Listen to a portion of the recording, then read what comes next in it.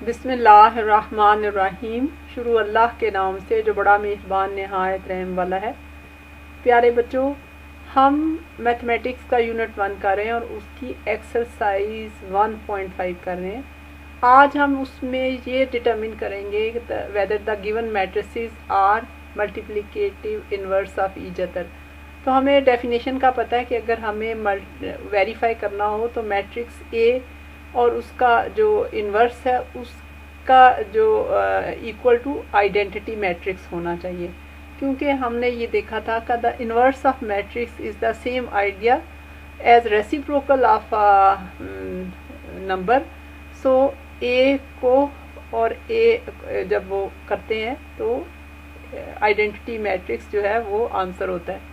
When we multiply a matrix by its inverse we get the identity matrix which is like one for matrices. तो हम इसकी definition भी revise कर लेते हैं कि here is the definition the inverse of A is A minus one only when जब हम दोनों को मल्टीप्लाई करेंगे तो वो वन के इक्वल आएगा. Sometimes there is no inverse at all तो uh, उसके लिए जो है राइट आंसर तो हमारा जब होगा जब ए और ए के रिवर्स को मल्टीप्लाई करें तो वो इज़ इक्वल टू वन आना चाहिए। और आ, जब ये हमारे पास आइडेंटिटी मैट्रिक्स आ जाए तो आंसर इज़ राइट अब इसी फॉर्मूले को अप्लाई करते हुए हम देखेंगे कि हमारा क्या जवाब आता है।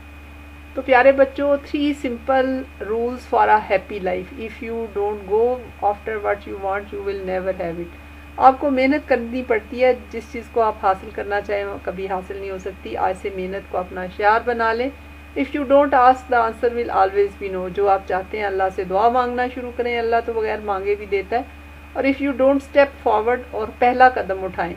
और पहला कदम उठाने का मतलब यह है कि आप अल्लाह से आज से ही दुआ मांगना शुरू करें। रब्बी ज़िदनी इल्मा अल्लाह हमारे इल्म इजाफ़ा फरमा, कैसे इल्म?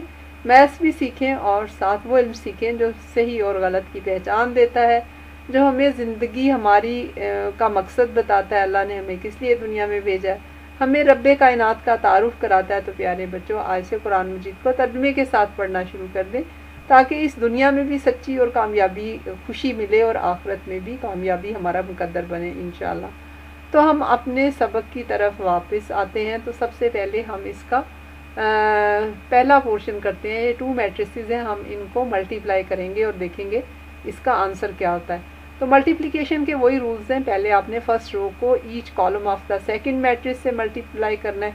तो इससे देखा कि हमने इसको सिंप्लीफाई किया तो हमारे पास वन और ज़ीरो आया। फिर हमने सेकंड रो को each column of the second matrix से मल्टीप्लाई करना है।